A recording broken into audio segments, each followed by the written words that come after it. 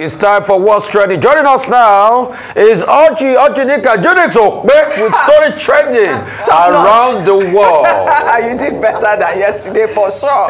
How Chief. are you? Chief, okay, Lolo. Lolo, Lolo, Just Umukwata. Umukwata. When you come with this man, you've been with him all I love day. him the way he I know. Good morning, well, all right. Oji, how are you? Good morning, Ayo. How are you th- this Good, morning? good, good. I'm missing Perfect. Dr. Bata. Yes, we are. the He'll be back doctor. soon. Viewers, he'll be back soon. No worries about that at all. Well, all right. Good morning to you, viewers. Here are some of the stories that are trending across the globe.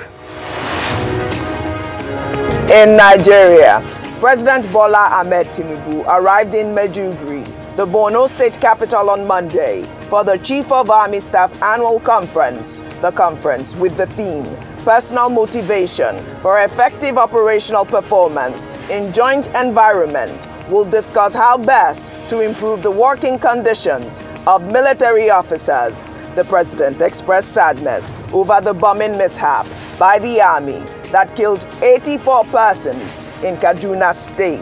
It is severely painful to see harm befalling those whom we have sworn to protect.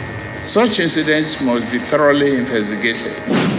Then, it was a big day for Nigeria under sports as Super Eagles and Napoli striker Victor Osimhen on Monday won the CAF Player of the Year award in Marrakesh, Morocco, after an outstanding season in which he led the Italian side to its first league title in 33 years. It was a history-making moment for the 24-year-old striker as he became the first Nigerian man to win the CAF Awards since 1999 when Kanu Nwankwo won the second of his two awards. The honor capped a superlative year for the striker who also took Nigeria to the 2023 Africa Cup of Nations with 10 goals to finish as the top scorer of the qualifiers.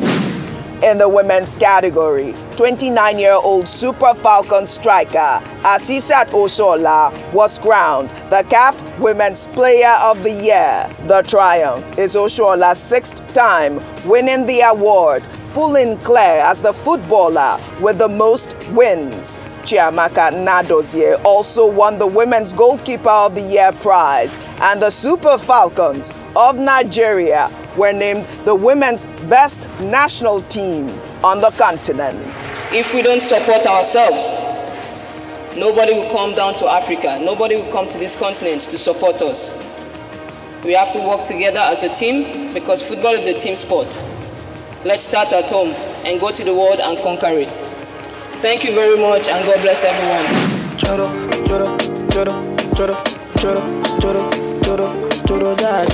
Finally, on our entertainment, Grammy Award winning singer Wizkid on Monday announced a 100 million naira Christmas donation to children in his neighborhood of Surulere, Lagos, and its immediate environs. The 33 year old star, who lost his mother, J.M. Balogun, in August this year, said he is making the donation in her honor. An amateur video on social media showed the moment the singer arrived his community in Surulere, sharing wads of Naira notes.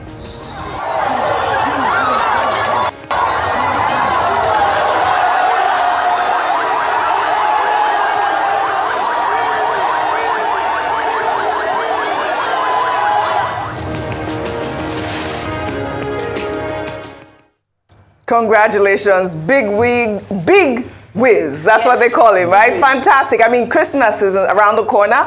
What else do we need now than to cheer people up? And he went straight to his community. I love, love this act. We see these entertainers continue to give. They make us proud and they give. We're calling on all the private sector Yes. to follow his footsteps. But of course, we also have to congratulate Asisat Oshoala, Victor Osimhen, and the Super Falcons of Nigeria, becoming the best team on the African continent. Congratulations to all of them.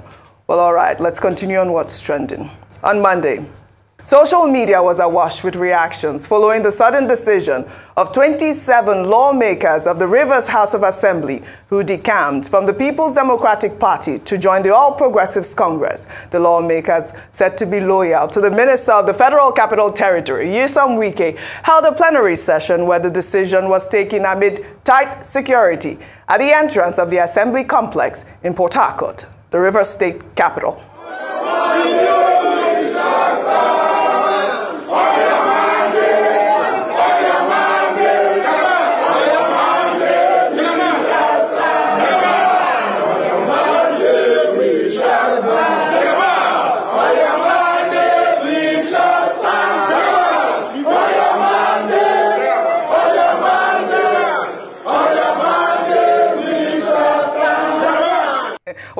Told you this is uh, Wike's new song. I told yeah. you it was uh, on your Monday, Bola, and now Jagabano. That video that we played last week showed us that Wike is in charge of the new song, while the defection of the lawmakers, according to reports, is said to be connected to the rift between the governor of Rivers State, Sim Fubara, and Wike over control of the political structure in the state, while users on social media reacting to the lawmakers' defection pulled up an old video where Wike condemned defectors in political parties. Everybody will have to be careful. You give somebody an umbrella, the next day he, he, he defects. EFCC will come. He said, no, let me join them so EFCC will not be against you. You carry the vote of another party and you join another party. Can you transfer vote? You work hard for, for somebody to win the election. Tomorrow the person say, no, I have defected. If you are defecting, leave the seat. If you know it is easy. Wike is trending. Another old video showing Nyesom Wike condemning the All Progressives Congress over failed leadership also made the rounds on social media. Well, let's take a look before we take some reactions. When I hear people declaring for APC, saying that they want to continue the good job of Mr. President, the good job of people dying every day, the good job of Naira falling every day, I feel so ashamed that we have gotten to the level where sacrificing, people will come and say, Look, I want to continue the good job of Buhari. What is the good job of Buhari? Of hunger is a good job, of poverty is a good job, of insecurity is a good job, of the economy falling is a good job. It's such a shameful thing. I, I can't believe that somebody will come out in today's Nigeria and say, I want to continue where Mr. Buhari has stopped. May God forgive. May God never allow that people to continue. Oh, God is listening. Well, let's take some tweets. Uh, let's take this tweet from Oloye, who wrote, Wike's many lies. One, I will not be minister.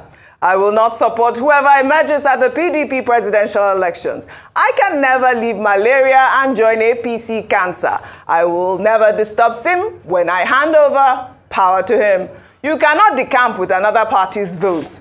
And many, many more. Fire, laughing, laughing. Go ahead. I mean, which installation is this? The only thing is now, we don't, I mean, when is Wike going to decamp? This is the question no, now. No, no, I don't know. I, is it, is think, you don't I know what at this rate, Okay. At this rate, Uh, he has done more than possible that you already know is with the APC. Yeah. Okay. I mean, there was a man that worked against his party. Yeah. When he was governor of the state, the party couldn't hold a rally, presidential rally in his state. Yeah. So how else would you want? But, you know, he likes to be very, you know, amorphous or mercurial is the word, Uh-huh. you know. So he's a member of the PDP, but serving in an APC government. The same APC Yeah. he claimed he will never have anything because it's cancer. yeah.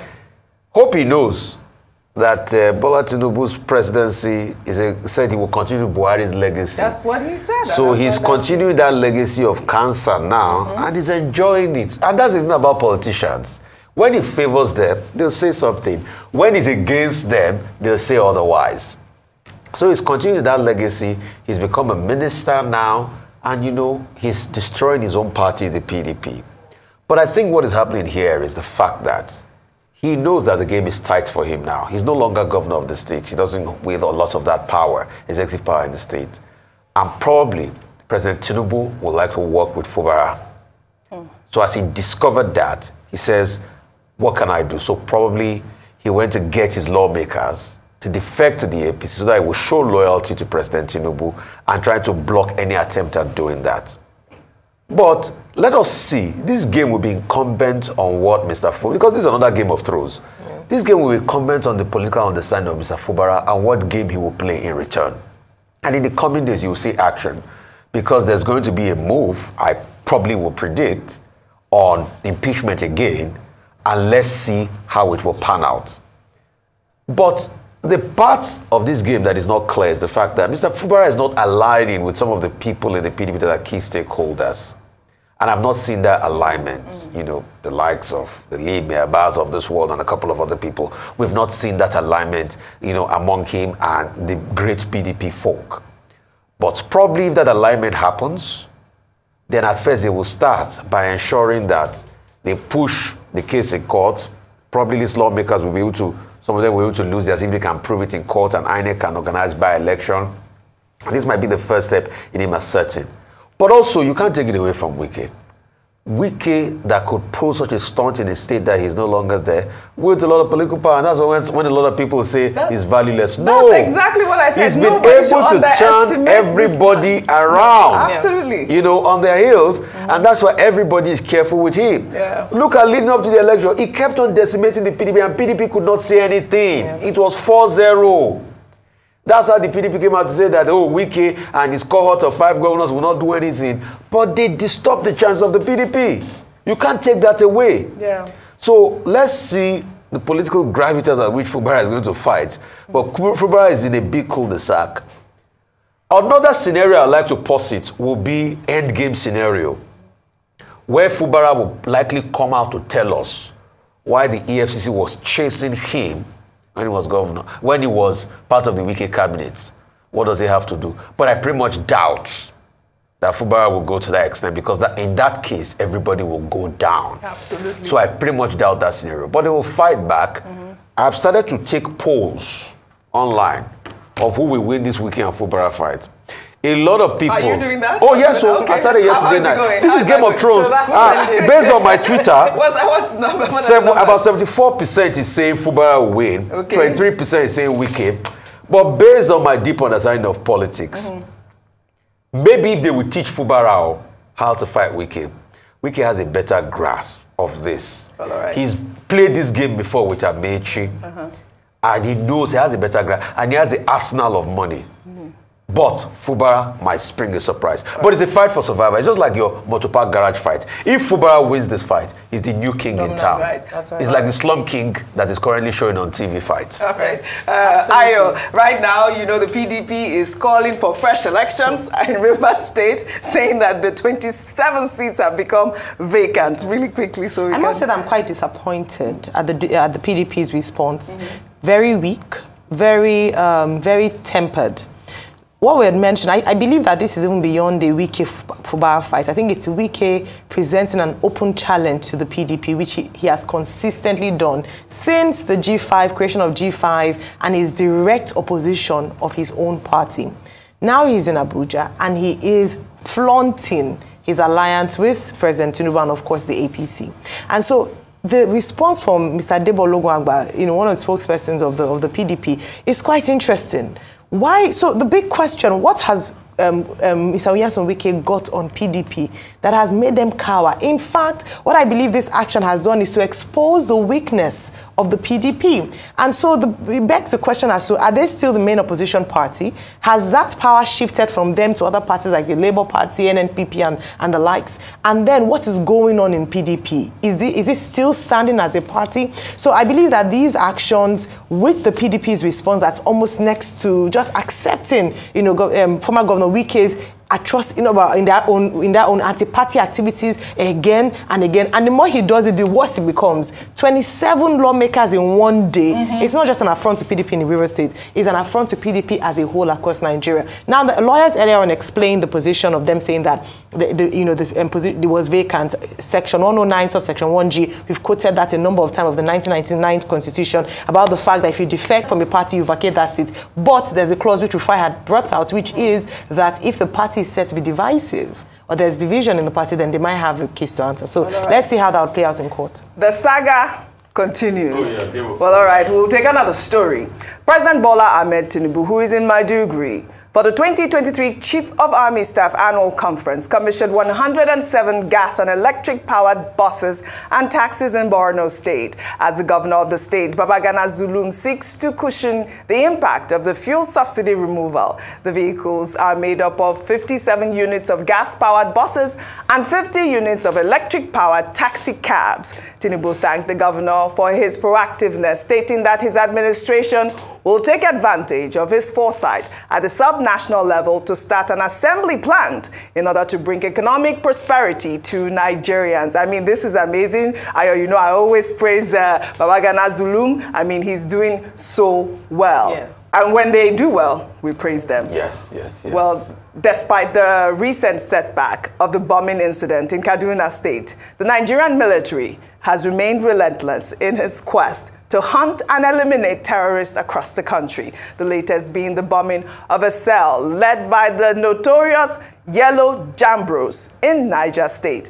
The Air Force said the air component of Operation Whirl Punch killed Janbros and other terrorists on Wednesday last week in airstrikes while they were attempting to cross the Jikunda River in Shiroro local government area of the north central state. Well, according to the Air Force spokesman, Janbros and his gang were trailed from Zamfara State as they traveled on motorbikes in broad daylight into Niger State. I mean, when I saw that footage, I was like, kudos, really kudos. So, you know, these terrorists, they thought that because of the bombing in Kaduna, the airstrikes had ceased. Yeah. But, you know, the Nigerian Air Force continued. They have done us really proud. Congratulations. These terrorists have been terrorizing the north central area, and we are so happy. Well, all right. Let's take another story. The national grid on Monday experienced another collapse, throwing the country into darkness. According to the transmission company of Nigeria, the grid collapsed at about 1 p.m. on Monday. It is the third time in recent months that the national grid has collapsed. I mean, we are hearing from TCN that this has to do with some sort of vandalism, but you know, the same thing happened in Kenya. A power blackout plunged the country into darkness on Sunday. The transport minister blamed the incident on possible act of sabotage. The outrage disrupted several services, including the main airport in the capital, Nairobi, where two terminals were without power for several hours. Many Kenyans have demanded answers as anger and frustration mounts over the recurring power disruption. While I catch my breath really quickly, Rufai, I'd like your thoughts on Okay. this power grid and you know why they keep failing us. Okay, It's the I third mean, time this so year. our power Twice grid, in September. Our. Mm-hmm. power grid, we all, we all know the problem is, you know, equipment as regards what's even the currency of some sort of the power grid. How modern is it? Can it take what we have coming in? You know, we've been talking about rejigging the grid. If you look at part of the detail of the Siemens deal, there's a lot of work that has to also be done with distribution and all of that of the power system and all of that. So these are part of the problems. Yeah, people are also talking about vandals and all of that, but really we need to work on the grid. Yeah. Because most of this, you know, companies that provide the generating companies that provide electricity and they get out there, you know, to uh, the people and they load it up on the grid, then through the grid system, people get the electricity, then the distribution companies just go out there to mop up, you know, their monies and things like that. So pretty much three arms of it. We need to be able to rejig the grid properly. I've also always favored a multi-grid system where you don't have one big grid, you have multiple regional grids that can equally do the work. Mm. That's that's about the power sector. And also in Kenya, you know, them having that challenge. You know, it's quite novel because it, it had you you you don't get as much frequency of problems like that as in Nigeria. That's why it's quite novel, you know, in Kenya. So the power system is still pretty much, you know, Yes. uh, a whole lot better. But as regards President Tinubu you know, going to commission uh, what Babagana Zulum did, kudos to Babagana Zulu. Kudos Yes, also to our, our Air Force, you know, for striking down the terrorists. We support them when they do well. But I'd like to ask, all of these CNG buses, Oji, do you have people that have driven in any of them, or that have that have that have gone in any of them? So these are the questions we keep asking ourselves, in society. Mm-hmm. And where are we as regards the presidential CNG plan that will make it easy for you to be able to go into any filling station and buy your CNG gas into your CNG powered cars? Mm-hmm. Because full adoption is the order of the day. And also, at the presenter, when he was announcing the palliative, he talked about farms. Yes. You know, for us to plant hectares and hectares of farm across states of the country. where are those food that we ought to grow now to be able to cushion this burden? Well, they are doing very well, and we'll praise them when they do well. And we're seeing that Babagana Zulum has done so well. Well, we're talking about the discos, even just helping out with the, you know, TCN and powering them. We'll take our final story. The chairman of Heirs Holdings and Transcorp Group, Tony Elumelu, visited the Transcorp power plant Ughelli in Delta State as they commemorated a decade of powering growth. The philanthropist, in a post on Instagram, shared visuals of his interaction with his team, who he says have worked very hard to power Nigeria. Let's take a look. The swag. Congratulations to the Transcorp Power Group. They marked 10 years, I believe, years. on Sunday. They've been doing very well. I mean, you cannot say that Tony Elumelu is about the most undisputed uh, CEO who put his traction on Instagram yes, is really good. And, you know, this uh, video was quite, uh, the, the video. Yes, it was undefeated. Undefeated. That song by, I think it's a song by Flavour. Yeah. Um, I watched the video on, on his Instagram page. And, and like you mentioned, first of all, congratulations to the Transcorp yeah. Group. Beyond the power plant in Ughelli, there are other of their business um, um, ventures that yes. they've done quite well with. Also, I must um, talk about the fact that it's good to see leaders, bosses get in touch with their people. Mm -hmm. It is almost the same thing we ask of our politicians. Absolutely. In touch with the people who drive your business, who bring in the profit, and to ensure that you demonstrate, you know, gratitude and give them. It's a boost to their to their confidence. You know, even in the U.S. military, you see the president go to talk to them, um, go personally to shake their hands to thank them. It is what drives a company to excellence, and I think that's really important to mention. And I was going to also say finally that it's no mean feat to run a business, especially in the power sector in Nigeria for 10 years. Mm. And that's why perhaps they deserve double, you know, double congratulations and implications. Right. As Dr. Basin, Dr. Basin is not here. So let me just mention the implications part of things, but congratulations, congratulations and, well Huge congratulations. Uh, Rufai, you said your father did work at the Ughelli yeah, at yeah, one so point. It, it, it, it's, it's nice me, yeah. So my dad nice did work at the Ughelli yes. power plant. Uh, Perfect. in the, you know, the late 60s into the 70s. Right. So, yeah. Fantastic. Again, congratulations to Transcorp. I would love to thank you both for your great analysis as always on what's trending. Well, that's all I have for you on what's trending today. I'll see you all tomorrow.